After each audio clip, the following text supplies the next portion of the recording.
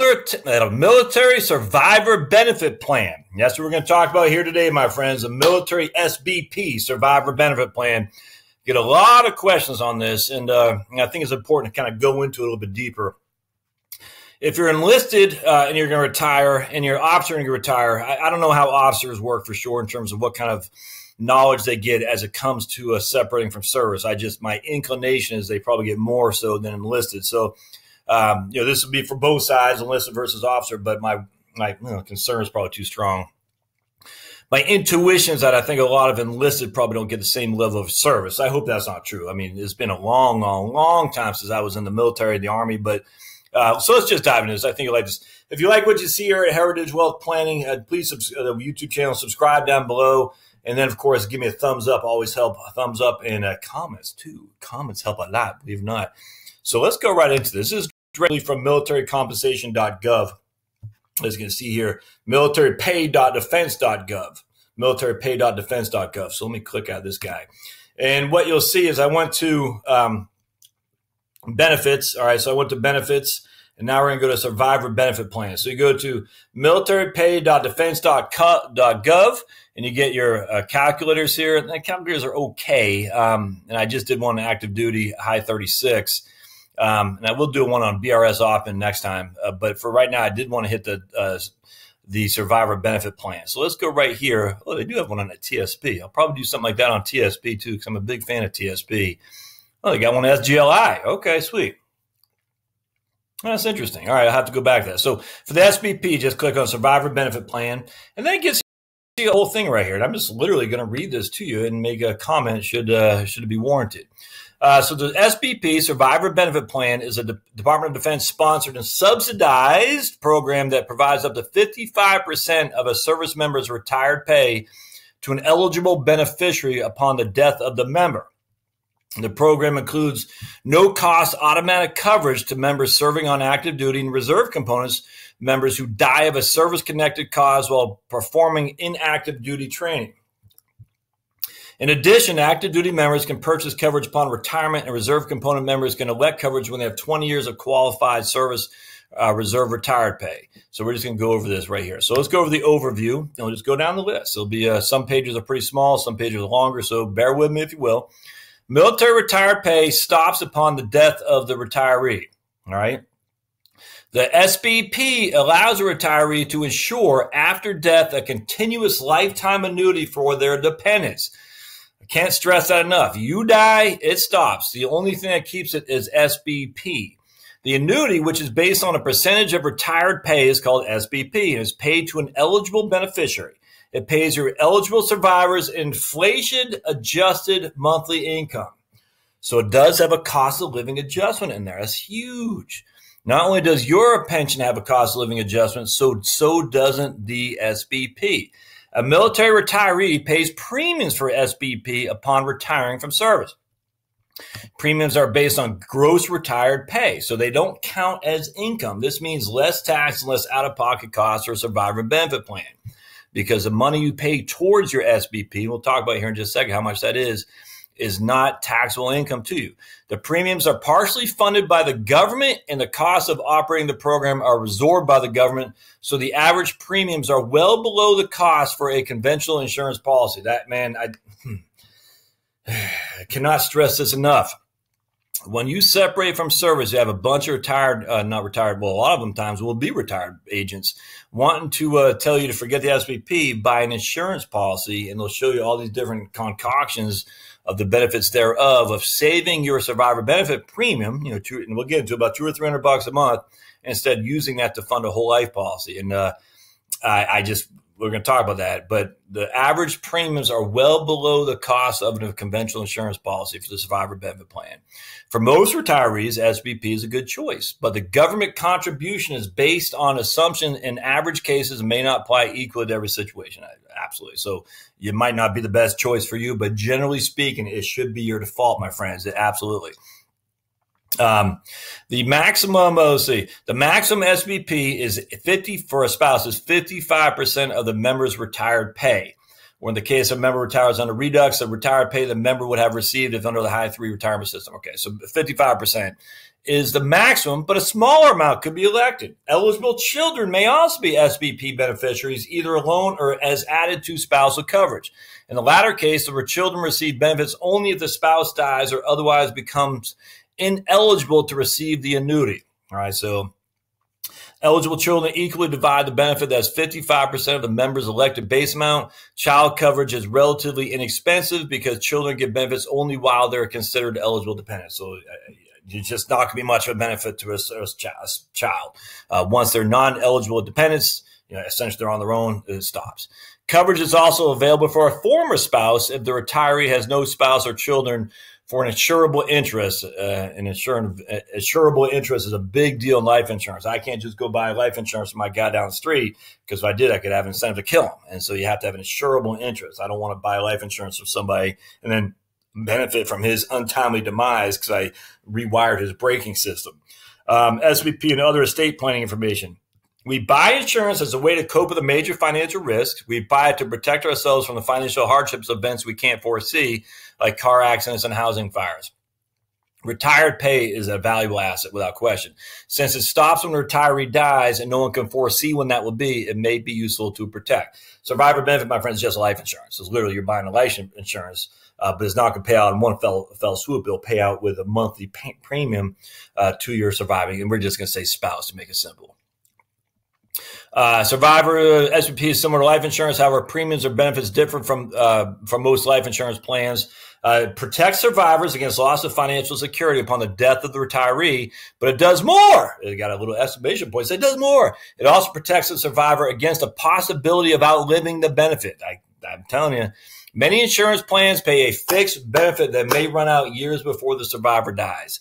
So uh, let me just go back to real world example. You don't do the SBP, you get your benefit Instead, you buy a $300,000 whole life policy. 15 years from now, you're still having a $300,000 whole life policy because it hasn't gone, it hasn't added anything to it, generally speaking. Most don't anymore. And so now the cost of your benefit, uh, I mean, your benefit has increased with the COLAs, you know, pretty significantly. All right. But your $300,000 life insurance benefit still stayed at 300,000 bucks. So now what was kind of maybe even Steven, now this right here, your SBP or your pension is way up here in terms of value, but your life insurance is still only $300,000. It hasn't grown. And so now you get hit by the proverbial bus and your surviving spouse only gets this amount of money, which there's still a pretty significant gap there. So she's probably going to outlive it um, because she can't generate that kind of income that it was up here 15 years when you died uh, with this $300,000 life insurance. You just can't generate that same kind of replacement income. Uh, in addition to a long life, another unpredictable Oh, okay. Uh, it protects the survivor against uh, many. Okay, yeah, right. In addition to long life, another unpredictable reason a survivor may outlive the benefits is inflation. Exactly. SBP protects against this risk through COLAs. Inflation may be the biggest financial uncertainty of all. It erodes the value of fixed incomes, yeah. making them worth less and less as times go by. Few, if any, private insurance plans will tailor uh, insure a survivor against inflation. Could not agree with that more. Again, three hundred thousand generally is going to be fixed. SBP it grows with inflation each and every year. In fact, no known insurance company has guaranteed to match SBP benefits at equal cost or less.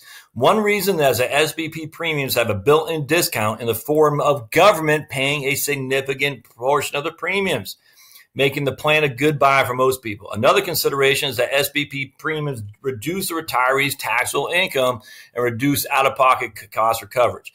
SBB benefit, SBP are benefits are taxed as income to the survivor and to the retiree, frankly. However, the tax rate upon receipt of the annuity will generally be less than the member's uh, the current tax rate.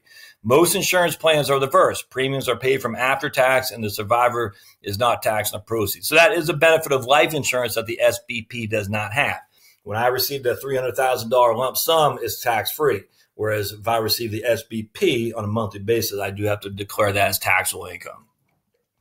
Um, still, SBP alone is not a complete estate plan. Other insurance investments are important to meet the needs, blah, blah, blah. Okay. Is SBP a good buy? Given the current government contribution towards a portion of the premium, the answer for most retirees is yes. Whether SBP is a good buy for an individual depends on your personal preferences, your sex, age, health, blah, blah, blah.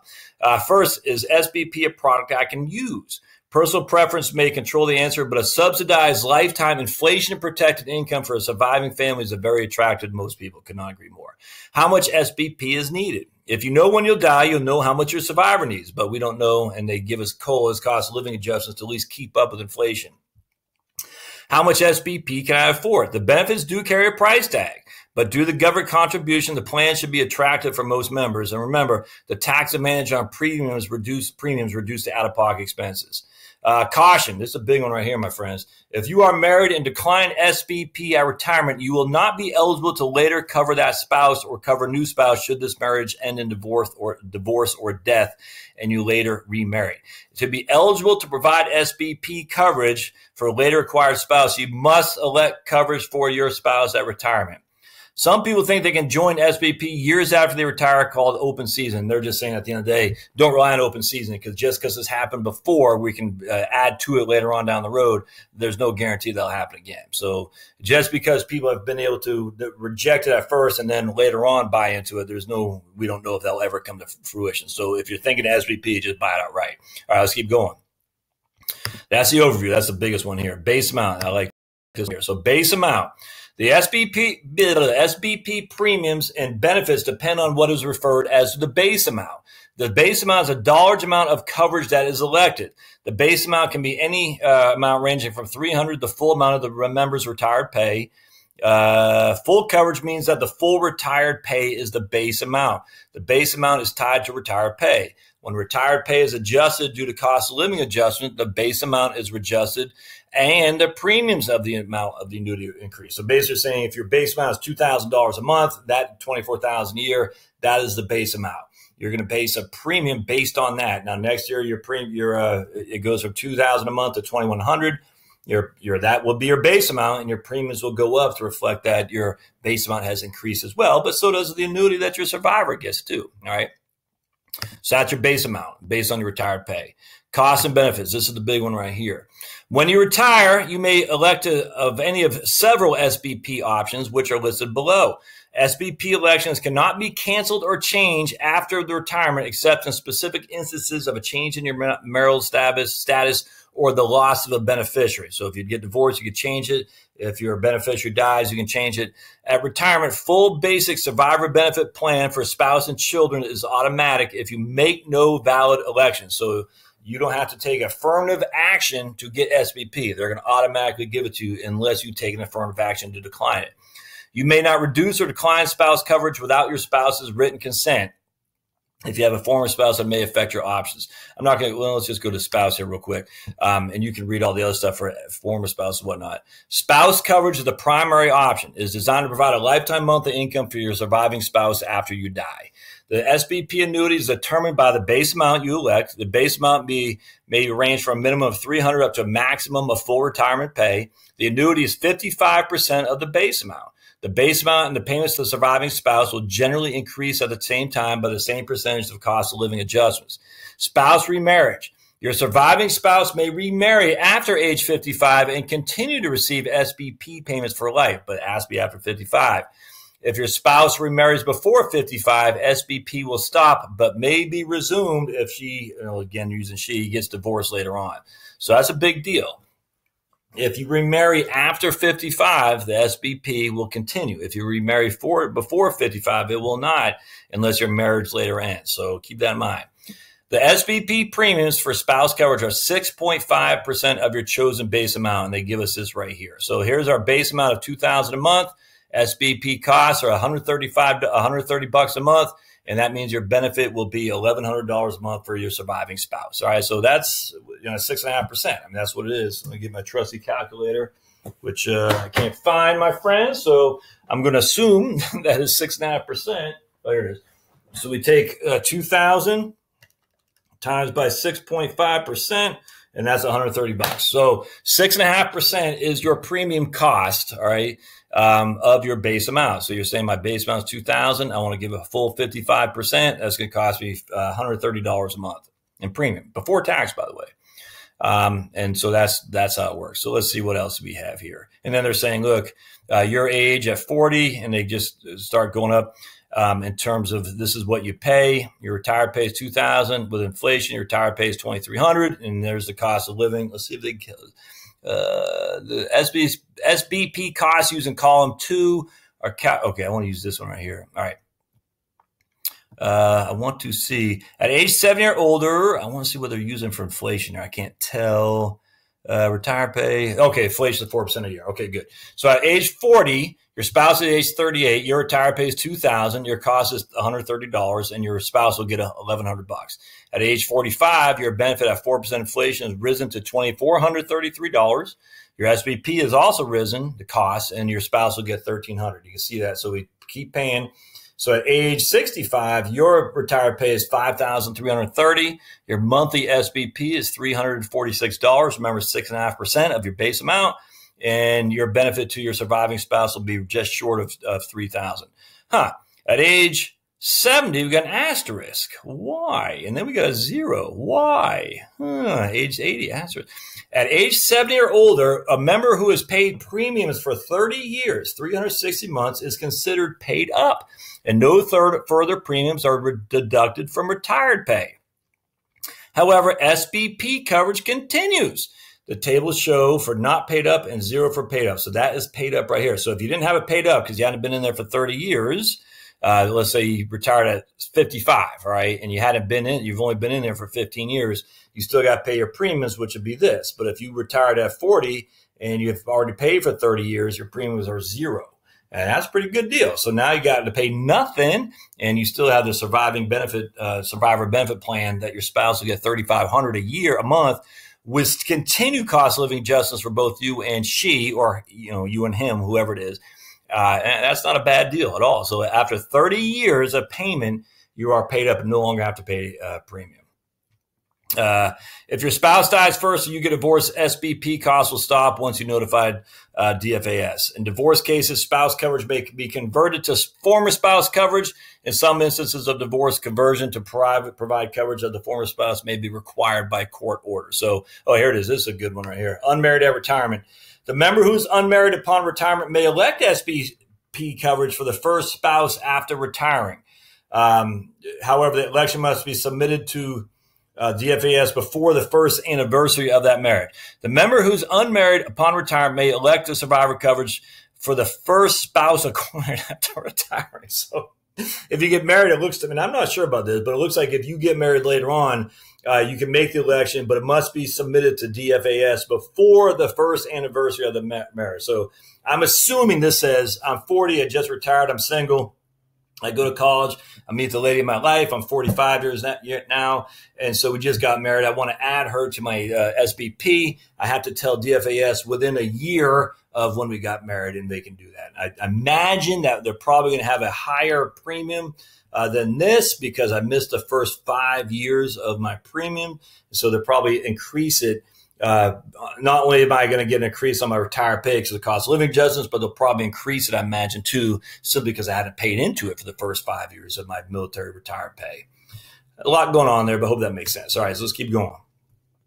We talked about paid up, we talked about shopping, uh, integration with a VA benefits. Let's read this right here. Uh, VA pays a benefit called DIC, dependency and indemnity compensation to your surviving spouse and dependent children if you die of a service connected cause this includes death after retirement if the cause of death is due to an injury incurred or disease contracted while you're on active duty. DIC may also be paid if you 100% VA disability rating for 10 continuous years prior to death. Uh, benefit as of 2009. DIC payments to all surviving spouses are at the monthly rate of 1154 adjusted annually for cost of living adjustment. If you are rated as totally disabled as a service connected disability for at least eight is entitled to an additional 246 an additional 286 is paid for each child per month. Uh, any DIC paid to your spouse is subtracted from your SBP payments, although DIC payments do not affect SBP. Oh, see, I did not know that. That stinks. Um, any DIC paid your spouse is subtracted from your SBP payments. A refund is paid to your surviving spouse for the cost deducted for that part of SBP not received due to SB, uh, DIC being paid. If the DIC payment offsets the entire SBP, all costs will be refunded. Okay, so they're going to refund your premiums there. Um, these refunds are taxed as income to survivors since they were not taxed when were deducted from retirement pay. That makes sense to me. Um, DIC is exempt from federal and state income tax, which gives the surviving spouse more take home. All right.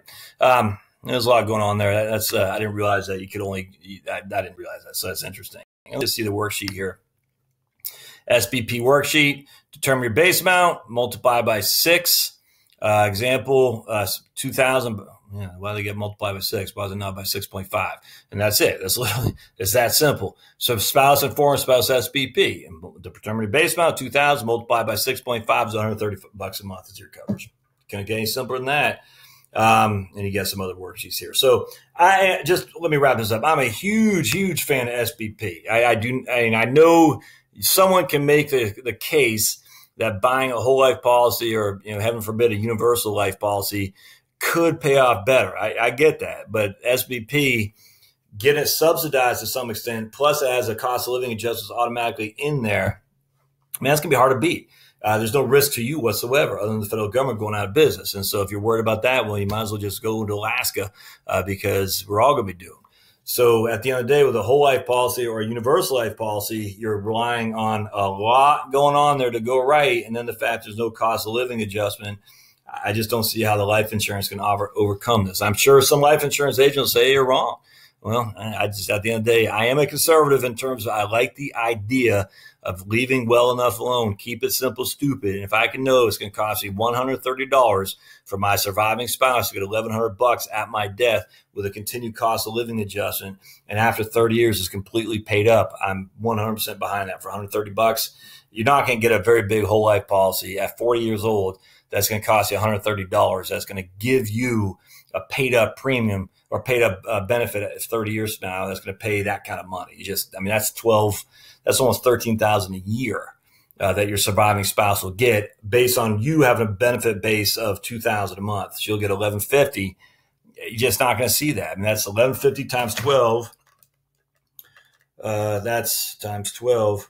That's 13,000 a year in benefits. So if she had three hundred thousand dollars life insurance, uh, divide that by thirteen thousand without anything, that's only twenty one years. I mean, that's you're just not going to get. And then that doesn't include cost of living adjustments either. And the SBP will stop once you die in terms of the premiums that you have to pay, not the benefit, but the premiums you have to pay. That's just that's not going to happen. So, uh, you know, if you die early, or the, I guess a big one would be what if she dies before you do? Then it could be some issues. But at the end of the day, you're still only paying initially 130 bucks yeah, I, I, just think you should do it. Absolutely. I, I don't think any, it's going to be tough to argue against SBP. It just it. So hope this helps. If you're interested in SBP, certainly go to the military uh, website here. I'll put a link in the notes and, uh, let me know if you have any questions. If you've been through it, I'd love to hear your, your issues that you've had for sure. Put them in the show notes, comments, comments, comments. Always help me. Don't forget to subscribe it will go over a couple other things on this website because I do find it pretty interesting for uh, for military personnel getting ready to separate from service. So don't forget to subscribe, and we'll see you next time. And then go to heritagewealthplanning.com, heritagewealthplanning.com. Thanks, guys.